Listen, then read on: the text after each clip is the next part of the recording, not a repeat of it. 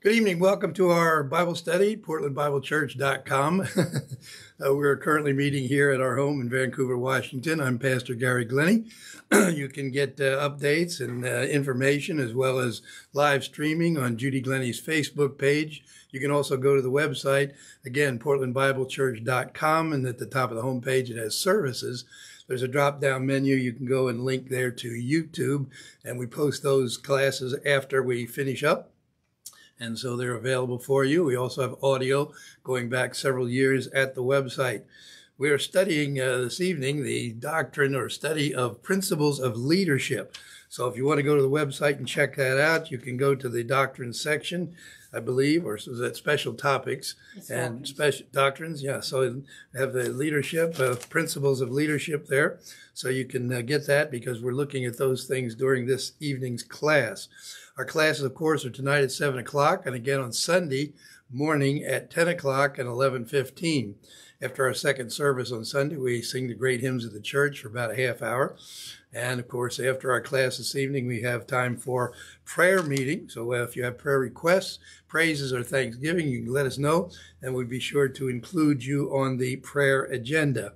I have a lot of people that have had uh, physical um, maladies, including yours truly. So continue to pray for those who have some type of physical uh, impairment of some sort or other. So we need to have those prayer requests and uh, praises for deliverance as well. We also have class for the ladies on Wednesday. Judy Glennie, my wife, has class right here at 2 o'clock. She's going through the seven churches in Asia Minor in Revelation chapter 2 and 3. We've been noting again the importance of uh, the Constitution and the Declaration of Independence and the greatness of our founding fathers in these United States. If you want information on that and the training that's available, you can go to patriotacademy.com. Sponsored by a fellow by the name of David Barton and Rick Green, two uh, excellent presenters with regard to the Constitution, the Declaration of Independence, the Founding Fathers, and all of the documentation that is necessary to demonstrate why we have this great country. So check it out, patriotacademy.com. Also, if you're still concerned about the virus, you can go to uh, covid.daystar.com, covid.daystar.com. So if you can check that out, you can get any information there uh, that you need. It's our custom to take a few moments at the beginning of each of our studies for silent prayer. That gives you the opportunity to confess any sins that you're aware of. Keep in mind that the Holy Spirit brings to your remembrance any sins that you've committed, whether mental or verbal or overt. You can acknowledge them to the Father. 1 John 1 9 tells us if we, believers, confess our sins, that is, name them, cite them, agree with God that they're sins, He, God, is faithful and just to forgive us our sins and to cleanse us from all unrighteousness. We believe that picks up the ones that we've forgotten or just didn't know about, and thereby we fulfill the command that Paul has given us uh, to to fill be filled with the Holy Spirit. And so, with that in mind, and in preparation for our study this evening, let us pray.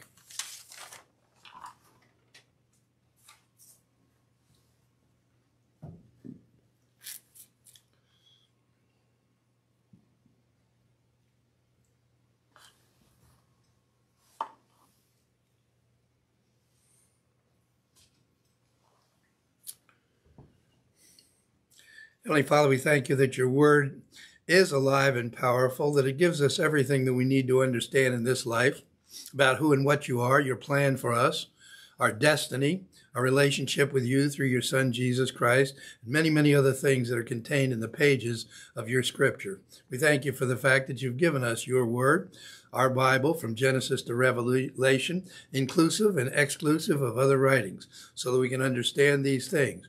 We pray as we study this evening that you'd encourage our hearts, enable, challenge, and motivate us by the things we study, for we pray it in Christ's name. Amen. The scripture says, Cast your burden upon the Lord, and he will sustain you. He will never suffer the righteous to be moved. Casting all your care on him, for he cares for you.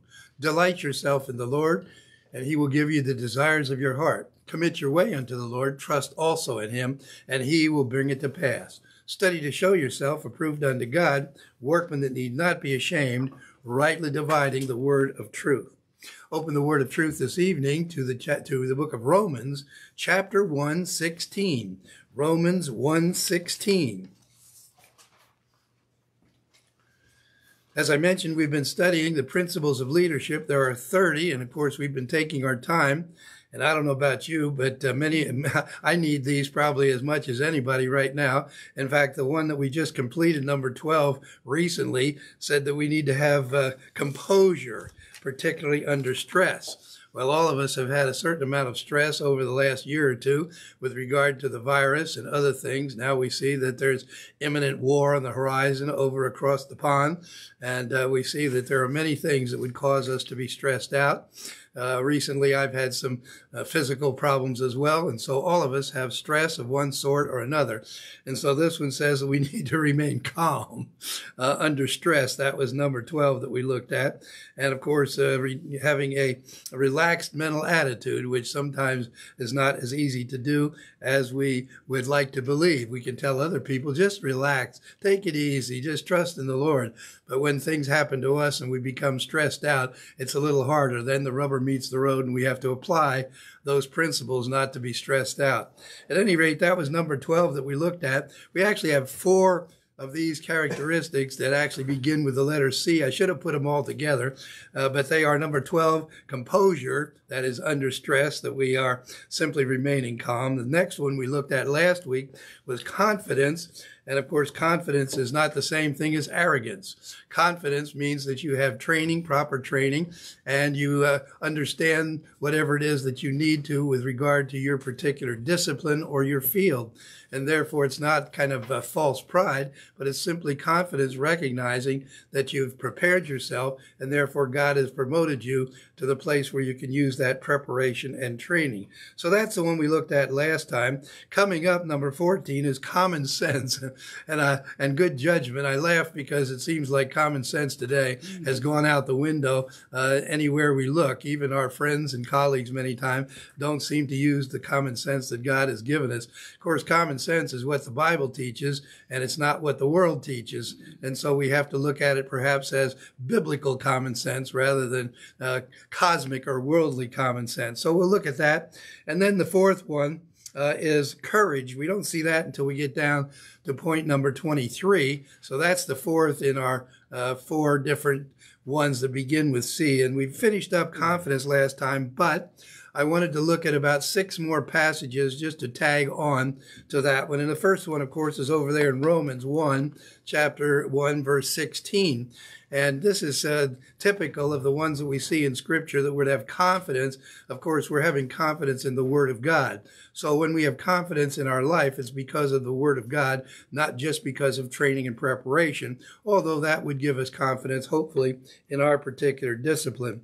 In verse 16, Paul says, I'm not ashamed of the gospel, for it's the power of God unto salvation to everyone who believes, to the Jew first and then to the Greek basically the concept here is not to be ashamed of the fact that you're a believer, that you understand how to become a believer, and that you present the claims of Jesus Christ so that others might come to faith and therefore be saved. And so he says, I'm not ashamed of the gospel. We find that a lot of times we don't like to speak up about the gospel because perhaps we don't want to offend someone who doesn't believe, uh, and they might feel that we're trying to push our religion, as sometimes people say, don't push your religion on me. But we're just to give information. Presenting the gospel is not trying to force anyone to do anything. It's simply stating a position and information, and the Holy Spirit does the rest. Sometimes people take terrible offense.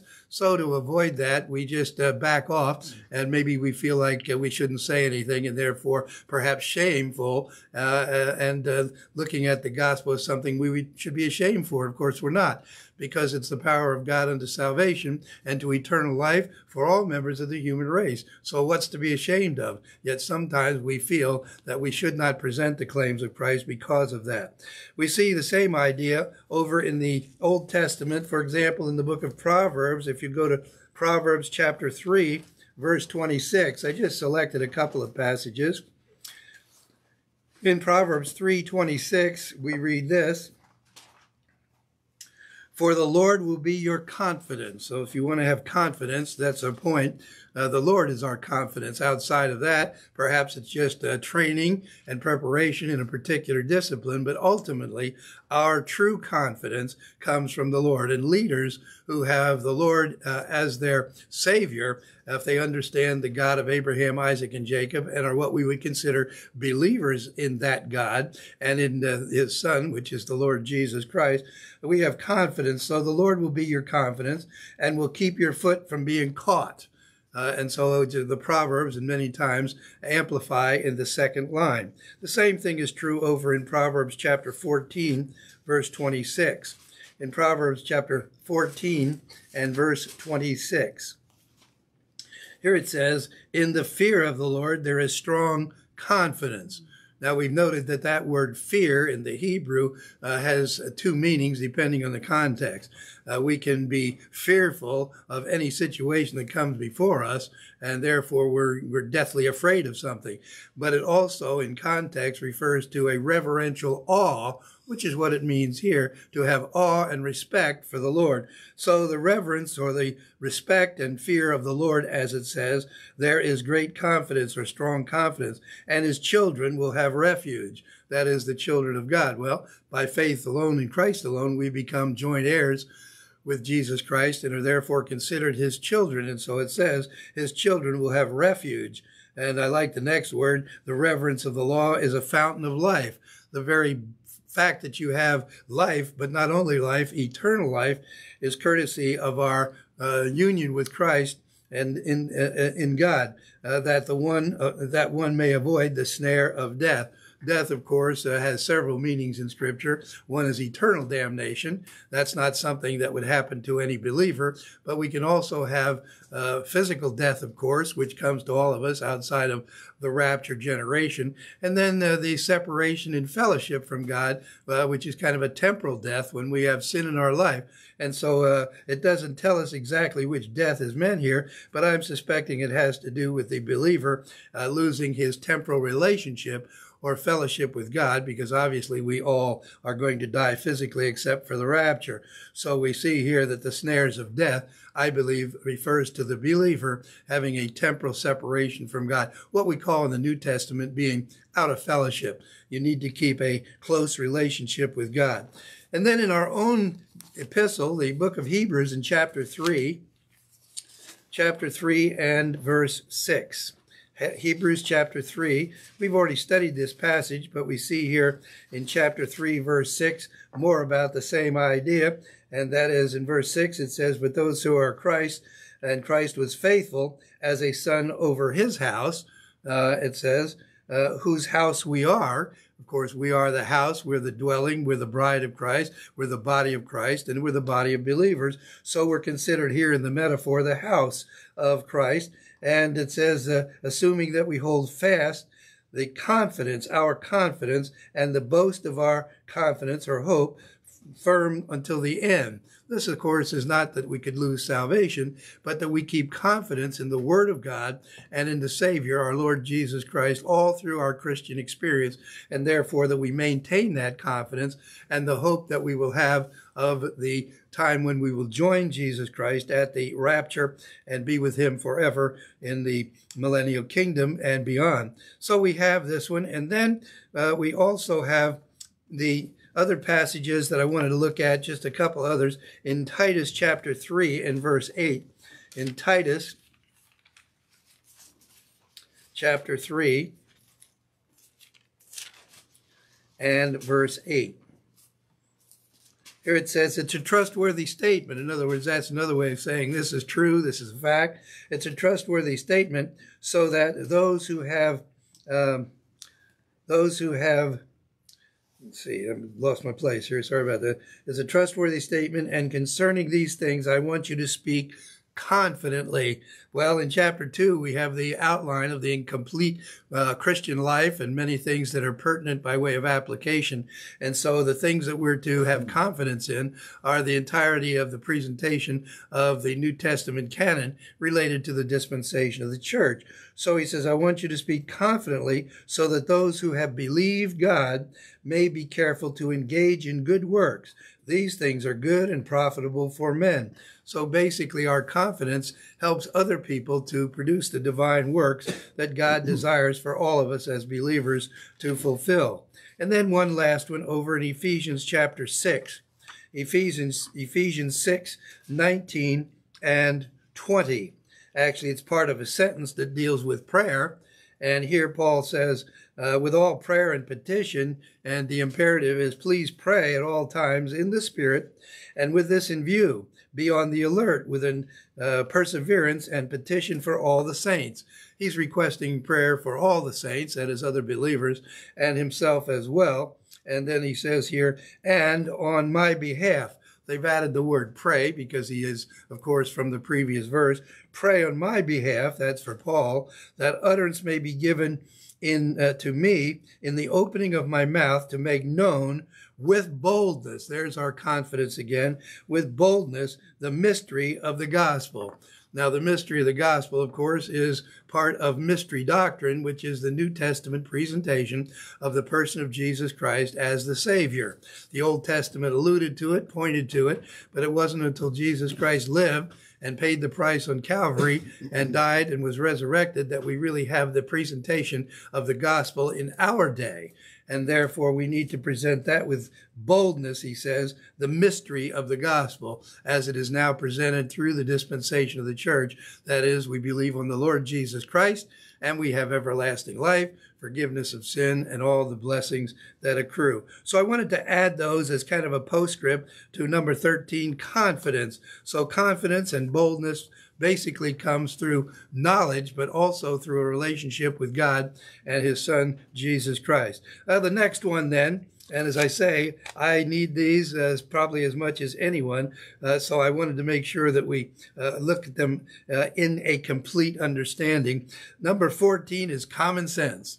And as I say, whenever I say that, I have to smile because uh, we talk about today, it seems like people do not have the common sense that they were born with. Certainly, our nation was founded with greatness and freedom and all the marvelous things that the founding fathers very meticulously put into the Declaration of Independence and the Constitution, and even all the writings and uh, uh, debate that surrounded those, which are multifarious. There were just many, many writings that are available of exactly what the founding fathers said and what they meant by what they said. It's kind of interesting today that people try to reinterpret the Constitution, and uh, of course, they try to find all sorts of loopholes. We've been studying that under our uh, different um, uh, classes on the Constitution, how the people today in Congress and even the judiciary are finding, trying to make loopholes in the Constitution to fit things in there that were never specifically stated. And yet the founding fathers were very clear,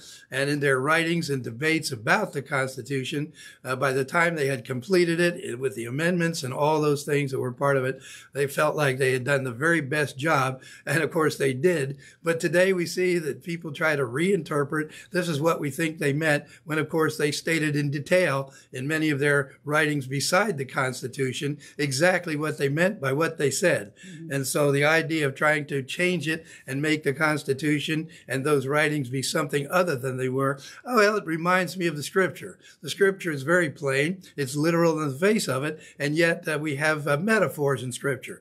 And so many in Christendom today, many pastors, many well-meaning people, and some not so well-meaning, take the Scriptures, particularly in the area of figurative language, and they just run wild and they interpret the scripture in just any way they feel because of the metaphors. And yet I know there are metaphors in scripture, but always they refer to some uh, literal concept that is behind them. And so we see that over and over again. Uh, uh, for just one example, we've mentioned it many times. Uh, John said, Behold the Lamb of God who takes away the sin of the world. Nobody would ever believe that Jesus Christ was a sheep.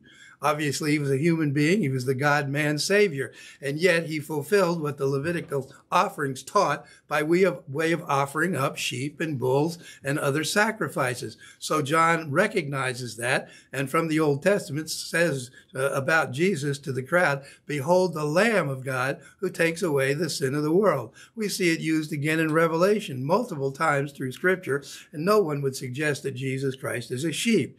And so we see that the metaphors have clear and literal meanings, even some that are more obscure than that. And so we find that people take those metaphors and they run with them and take all kinds of license and come up with the strangest things that were never intended by God in the scriptures or by those that he inspired to write.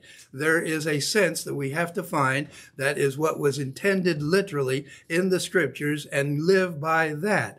Of course, that's not what we find today in many churches and even among many ministers here and there. So we see that the common sense then uh, is very uncommon. It's almost one of those oxymorons. We say, don't you have any common sense? And we see, well, common sense is very uncommon. We might say, don't you have some uncommon sense? That is to say, biblical sense, spiritual understanding, rather than cosmic or worldly understanding, uh, which is what the world calls common sense. And of course, as we look around, we don't see much of uh, anything that is common. And I've added here good judgment. So with common sense, we have good judgment. The judgment is the ability to make a decision uh, compatible with divine norms and standards. We've already talked about the conscience on Sunday morning. The conscience is the evaluator of the soul. And of course, we put into that information all through our life. And many times there are erroneous norms and standards things that reflect the cosmic or the worldly system.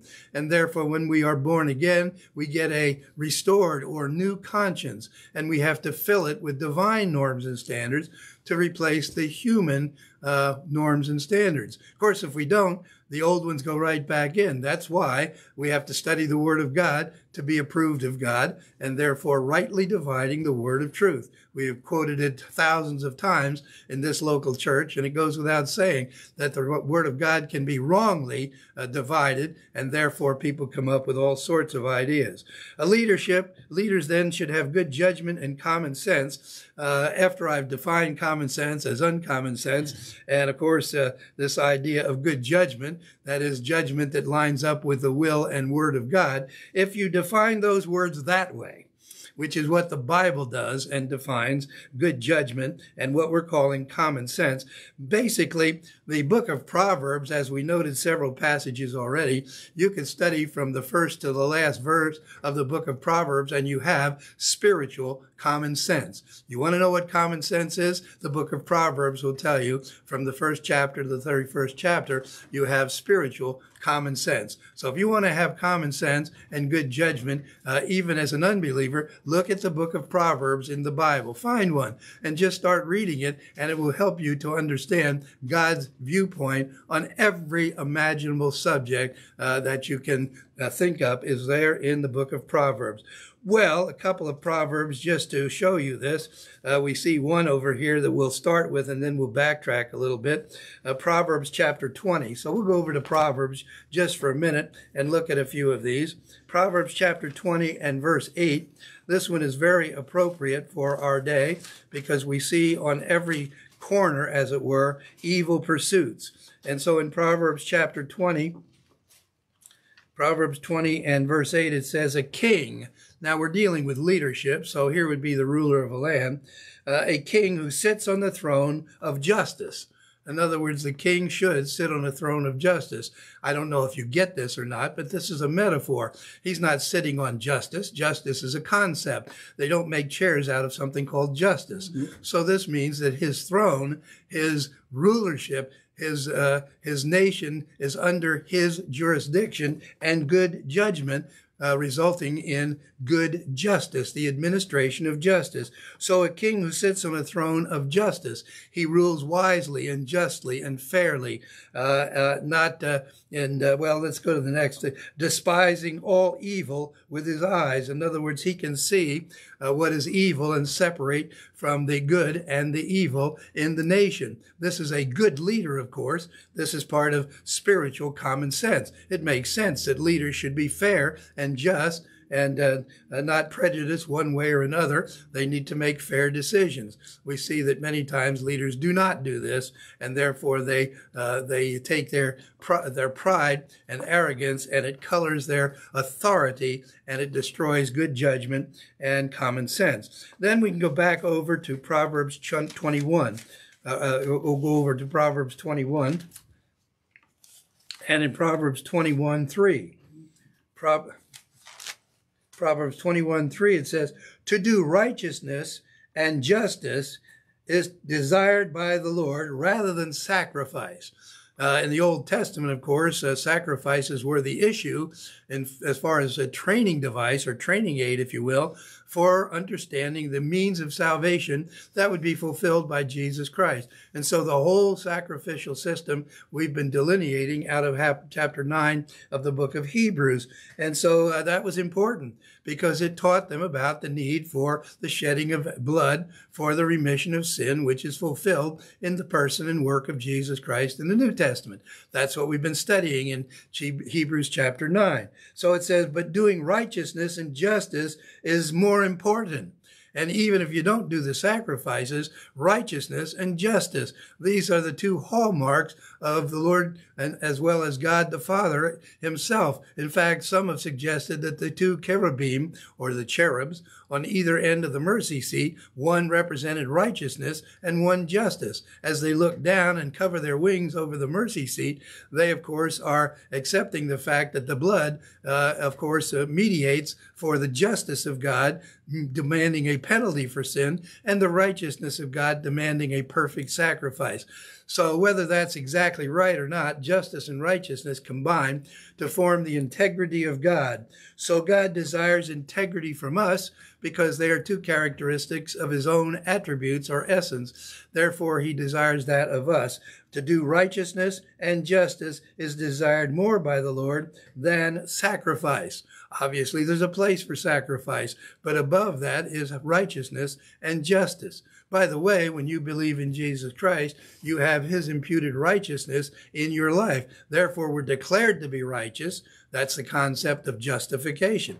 Even though we're not righteous, God declares us righteous because we have accepted and the righteousness of God has entered into us by our faith alone in Christ alone. So we see this here in chapter 21, verse 3. And then over in chapter 29, I got looking at that and I couldn't stop. Hmm. chapter 29 is just such a great chapter. You might want to look at this for your homework tonight. We'll look at a few verses, but you can read the whole chapter. Uh, we'll just highlight Proverbs chapter 29, verse 2. It says, When the righteous increase, the people rejoice. But when wicked men rules, uh, when a wicked man rules, the people groan. I don't know about you, but it seems like a lot of people are groaning in our nation today because of the evil that we see in the leadership, not only locally, but in the national level. When a wicked man rules, people groan. When the righteousness increases, the people rejoice. So when the righteous increase, that is when righteousness uh, is found in leadership, and rulers and nations, then the people rejoice. But when a wicked man is in position of authority, the people groan. That's just verse 2. We've just begun in verse chapter 29. Look at verse 4. The king gives stability to the land. How? By being a smiley face, being a nice guy. No, by justice. And what we're lacking today is justice. It seems like at every position in our government, from local all the way to the federal government, justice, fairness, and taking things that are biblical, but more than that, as far as our nation, constitutional. Because the Constitution and the Declaration of Independence, the Bill of Rights, all of those are based whether you like it or not, on the Bible. We have hundreds and hundreds of documents, even within the Constitution. The idea of God's sovereign will and grace are found all through those instruments. The king gives stability to the land by means of justice, but a man who takes bribes overthrows it. It seems like today money talks and everything else walks, as they say in the vernacular. Uh, we won't tell you what everything else is, but money talks. and it seems like in every place, in government, in business, in industry, in education, you name it. Sadly, even in churches, I hate to admit it, money seems to be the issue. People will do almost anything for money. You can just imagine someone in, uh, on one of these uh, campaigns in Washington who dumps $100,000 in the lap of a congressman and says to do thus and so. It'd be very difficult for the congressman to say, well, that just goes against my constituents, uh, what they want me to do here. Uh, I'm going to do what my constituents want. I'm going to follow the Constitution, and what you're asking is in violation of the Constitution and is directly in opposition to the constituents, that is, the people that I represent. Uh, and therefore I cannot take your 100,000 or 10,000. Uh, I reject that. But we see that it's very tempting because money talks. And so people today in powers positions, positions of leadership, very often are swayed. We see it in every field. Uh, we don't have to go down the list. You know what I'm talking about. All of us have been in the world for enough time to know that those people who have the money, uh, they have this uh, uh this concept. They say, uh, "He who has the gold rules." That's the golden rule. If you have the gold, you rule. Mm-hmm. And therefore, if you want to rule, you need the gold. And if you rule, you want to get the gold.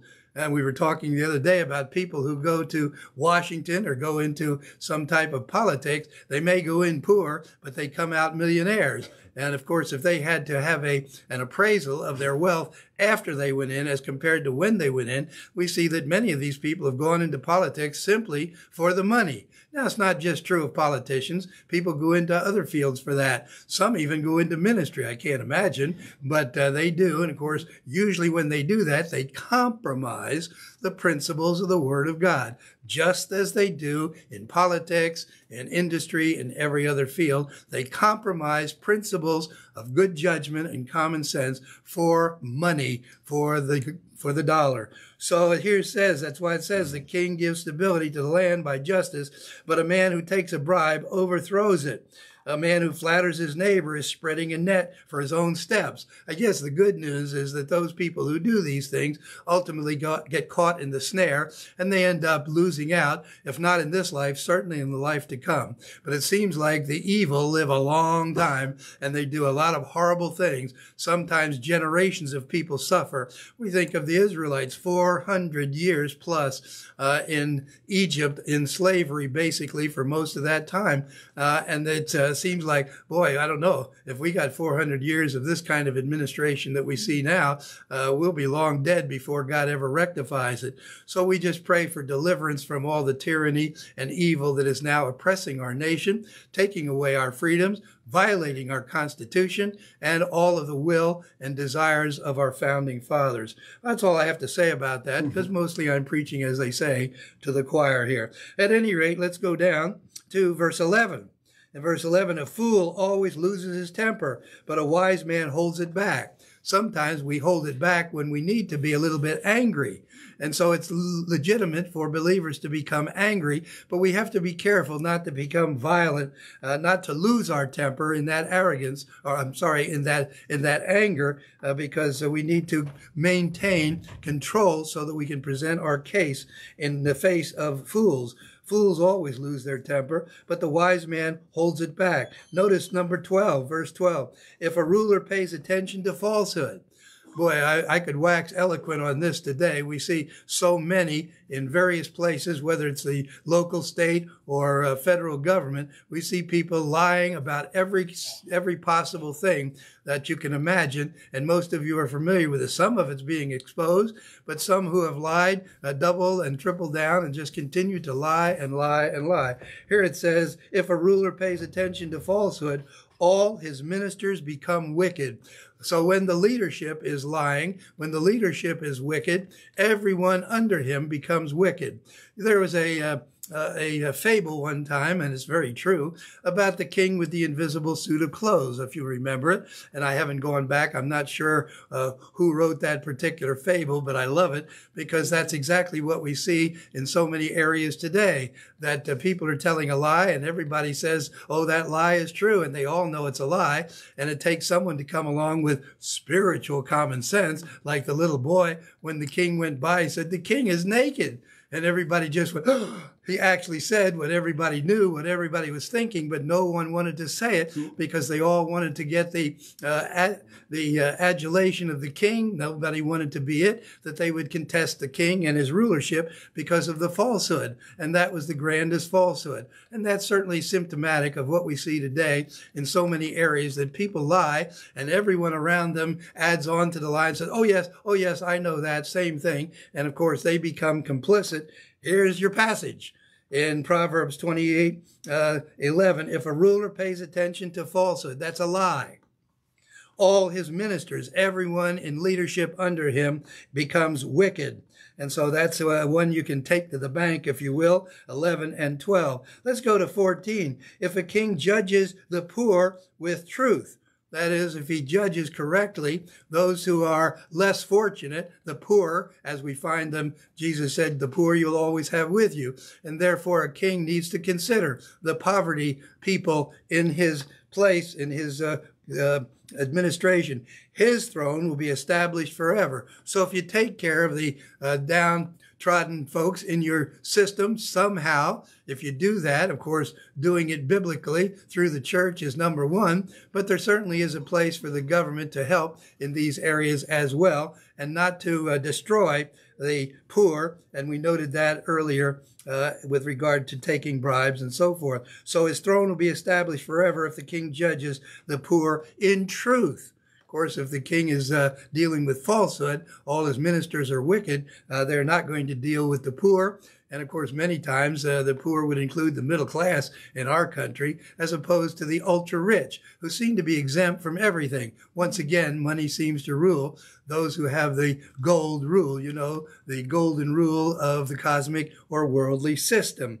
And then we have, uh, let's see, uh, finally, the last one, verse 18. You can read the whole chapter. As I said, I came here for one verse, verse 4, and I went down through the rest of them and I couldn't let them alone because they're just so apropos. That's the thing about Proverbs. If you want to read Proverbs, just take it out sometime, take your Bible out and start in Proverbs. You won't be able to put it down. You'll want to keep going because that's what happens every time I go to Proverbs. So it's a good thing to do in your Bible study uh, and in your prayer time as well. Verse 18, where there is no vision, uh, that is, the people are unrestrained. Some places, in some texts, it says in certain uh, translations, when there is no vision, the people perish. But the word there is unrestrained. They are let loose. They're, they're let loose in their soul. They're unrestrained. They get into violent situations and so forth. And the word vision, of course, has to do with not uh, seeing visions in the night, uh, seeing some type of apparitions or having a, an angel visit you. The idea here is information related to the word of God. Visions has to do with divine communication. Well, you can get divine communication out of the word of God. You don't have to have a vision. Daniel had visions. Nebuchadnezzar had visions. Many of the prophets had visions. Even Moses had encounters with the angel of Jehovah. That would be considered a daytime vision. He actually talked to the angel of Jehovah, the pre-incarnate Lord Jesus Christ. And of course, what did he get? He got the Mosaic covenant. He got doctrine. And so we might say here, where there is no understanding of divine communication, the people are unrestrained. They are let loose. They are empty of soul. And that's what we see today. People who uh, have no understanding of the Word of God, not even in the area of divine institutions or divine establishment. If you were with us, we studied that several weeks ago on this uh, in this class on leadership uh, up there under point 12, uh, the divine institutions or laws of divine establishment. We also looked at them in the book of Hebrews as a review on Sunday. So if you were with us, you found that as well. So there's the book of Proverbs expanded in chapter 29. You can read the rest of it for yourself. I hope you will for your study. And of course, uh, all of these things are, you, I mean, I just have to stop looking or we'll read the entire chapter, yeah. which is no bad thing. At any rate, that finishes up confidence. I know that was the subject for last class, but I wanted to get those. And so, uh, I'm sorry, common sense. And I did want to cover that as well tonight. Now, the next one is kind of our fun one, if you will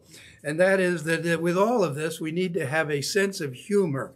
And leaders need a sense of humor. I think one of the things that we notice today among leadership and really among the populace at large, people have lost their sense of humor. Mm-hmm. Uh, when you say anything that's a, a little bit seems to be uh, off cue, people say, oh, oh, that's degrading to this person or that person. Look at some of the old TV shows. Uh, they, if they were being put out today, they'd probably be pulled off the air. Some of the things that uh, people said because many of them were said in jest and uh, there was no evil intent meant. But today we have to be so careful because anything that you say could be construed as some type of prejudice and therefore we've lost our sense of humor. It is odd that some of the comedians uh, that come from the, from the liberal side can almost say anything to hurt anybody. But when they come from the biblical side or what we would call the conservative side, uh, these are always uh, marked as hate speech, and therefore uh, we see that uh, they do not see the humor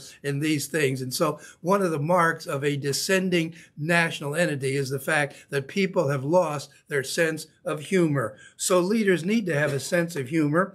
By the way, it's a tension relieving uh, means uh, and indicative of a relaxed mental attitude. If you've got a relaxed mental attitude, you can laugh at things, uh, and not, of course, uproariously uh, as you know, just out of control.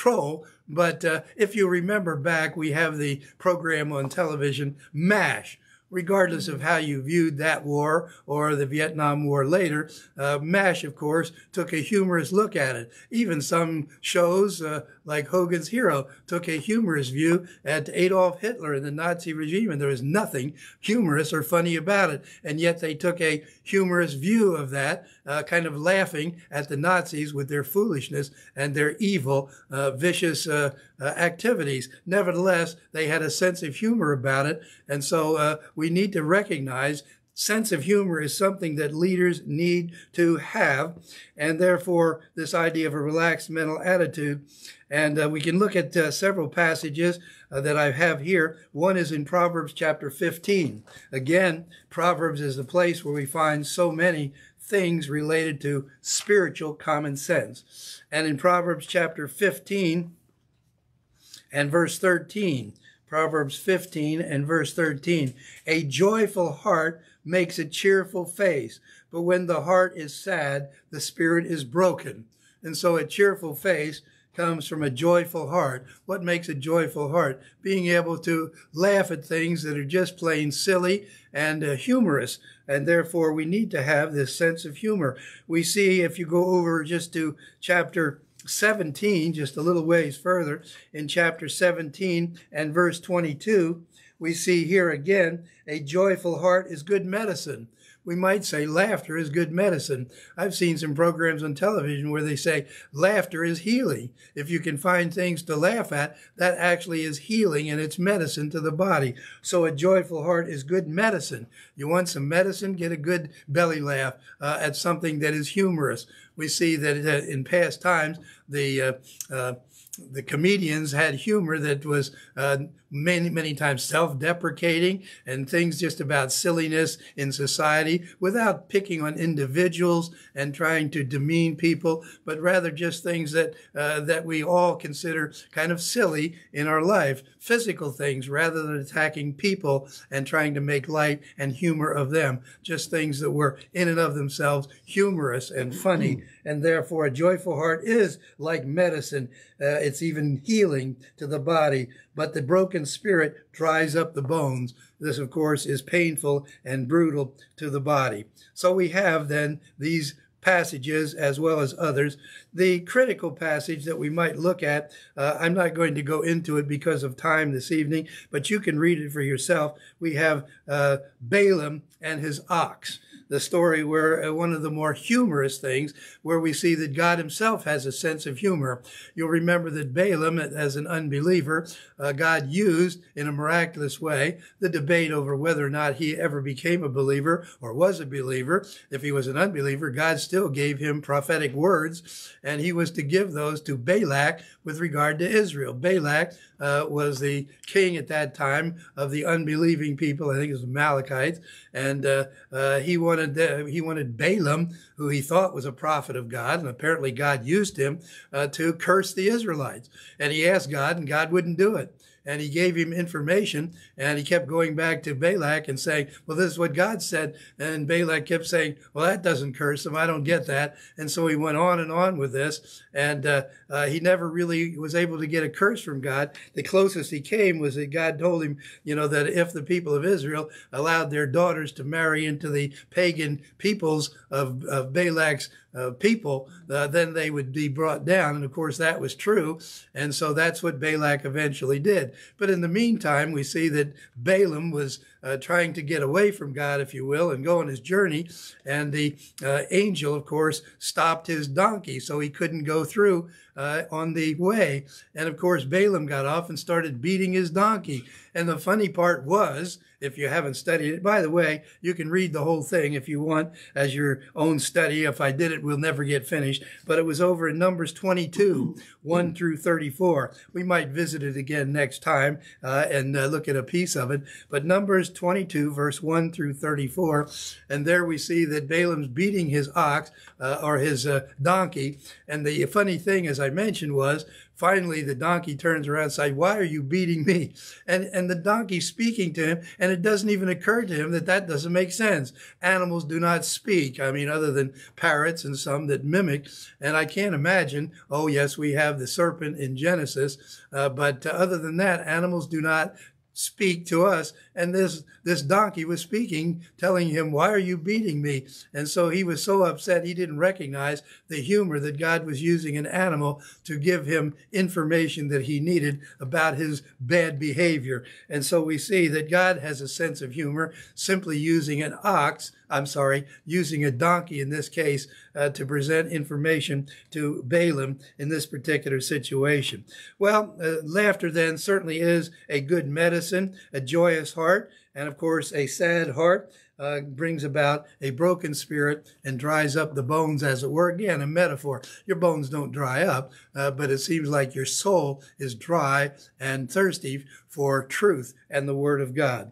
Well, the next one then is loyalty. Loyalty, of course, uh, has to do with the leader's ability to dedicate, particularly devotion to duty. We've heard a lot about devotion to duty as we've been studying the Constitution, and those who went to Washington and uh, to Philadelphia, actually, to do the Declaration of Independence and later the Constitution, they felt devotion to duty, and they understood it was their duty to their nation, to the nation that they were trying to establish, to do those things that were just and fair, and to do them under God they understood that God was over leadership. He was over government. Today, we have got the idea that government is the God and is over everything. But the founding fathers recognized that the sovereign creator was over everything first, and that those under him were leaders and had authority given by God, uh, by the people, and by God to function uh, over the national entity. So we see that duty is very important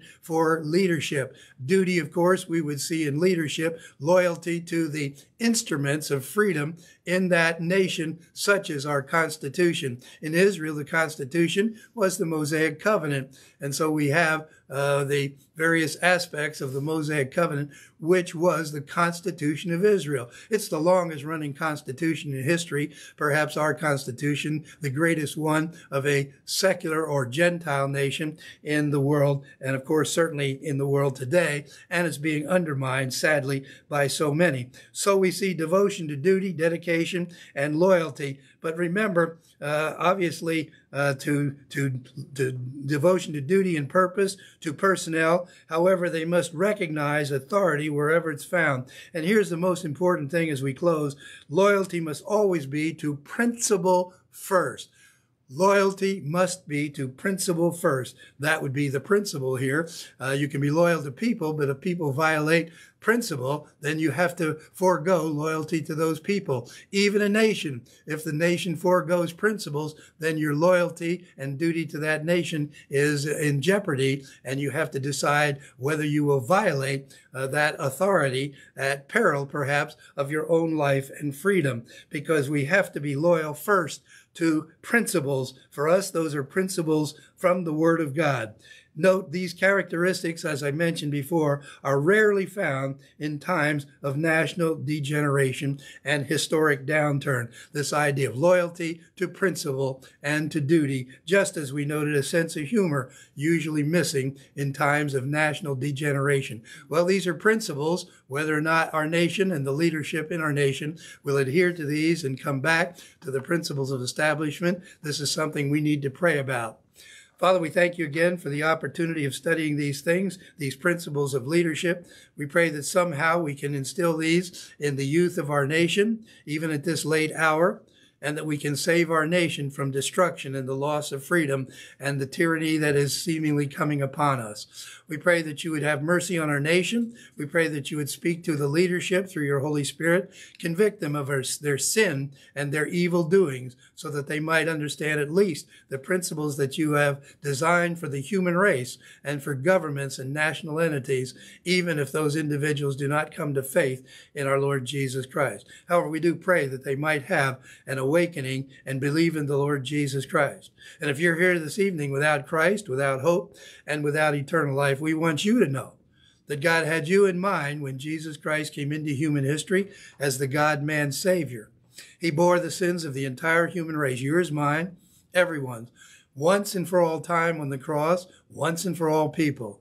And you can have everlasting life forgiveness of sin, and a resurrection body, and all the things that accrue to you as a believer in Jesus Christ simply by believing in Jesus Christ. Believe what? Believe he was the God man Savior. Believe he lived a perfectly sinless life, but most important, that he died on the cross for your sins and paid the debt so that you can have everlasting life, forgiveness of sin, and a joint heir place with Jesus Christ and all of us in the palace in that heavenly Jerusalem. Won't you do it before you leave? God so loved the world that he gave his uniquely appointed son that whoever would believe in him would not perish but have everlasting life. Believe in his son who was appointed by God for that purpose. And of course, there's no other name under heaven given among men whereby we must be saved. We see in John's first epistle, he says he writes these things and he says, I've written them so that you who believe in the name of the Son of God, in order that you may know that you have everlasting life. Won't you do it before you leave? Believe in the Lord Jesus Christ and you will be saved. Father, now thank you for this time of study. We thank you for these principles. We pray that God, the Holy Spirit, will encourage, motivate, lift us up, and challenge us by these things. For we pray it in Christ's matchless name. Amen.